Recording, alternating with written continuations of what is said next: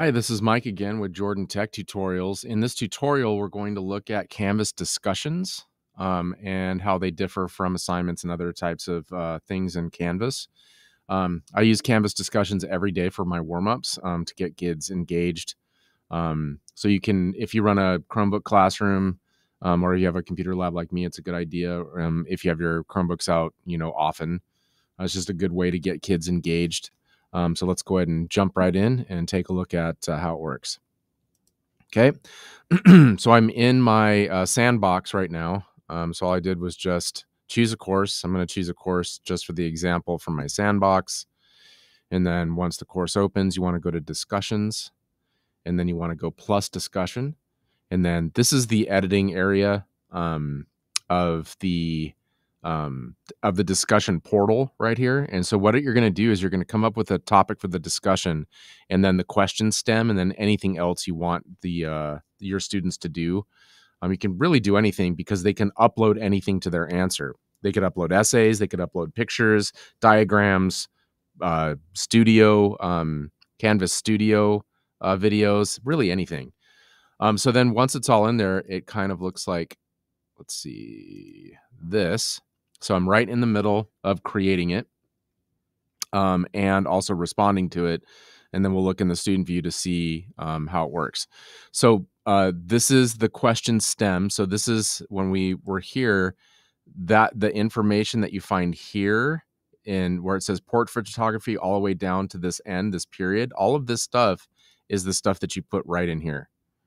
Okay. Um, so in what I'll do is I'll just, how about I just copy it like this and then throw it in there. So that's like the question stem. And then we can just go like this and then under topic title two, portrait photography. Um, and then in the discussion while you're creating it, um, basically you just do the same thing that you would kind of for an assignment. Um, I'll just explain the differences right now. So down here, um, uh, my warm-ups are graded. Um, I also allow liking. Um, and you can also do users must post before seeing replies. Um, for my course in photography, I kind of want them to see what other students are doing to get some ideas because it can be intimidating. Um, but if you're, you know, um, if it's like test review, then I might put users must post uh, before seeing replies so they don't just copy other replies. Okay. Um, so for me, four points. All my assignments are worth four points. Um, and then the response is going to be considered their submission right? And then you just put in the due date and you're good. So once all that happens, it looks like this. Okay. Um, then there's a reply button, and I already pushed the reply button. It's a blue button that appears here, but we'll we'll put it in student view so you guys can see um, that as well. So uh, I'm responding to the question. So what are the elements in portrait photography explained in two or more sentences? And I put the elements here. And then the most important element is portrait is that it's a photo of stage and not spontaneous. then it says upload a portrait in either of the following genres. So if you want the students to upload media, it's super simple. They have all of the tools that you see here. Okay. So if you want them to upload media, you just have them go upload image and then this will come up. They click it and then let's see. Then the first one was a fashion portrait. Okay. All right. And then the next one was a sports portrait. So we'll do that too.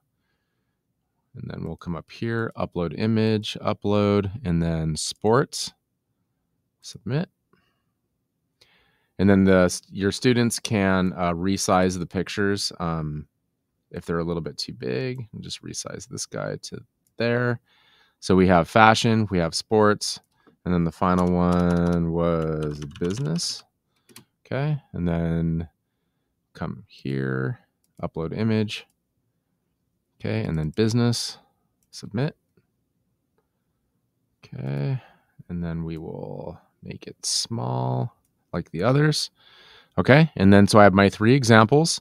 And then what I would do is I would just go reply. So this is what your students would actually do. Okay, so there's the question stem, um, there's the reply.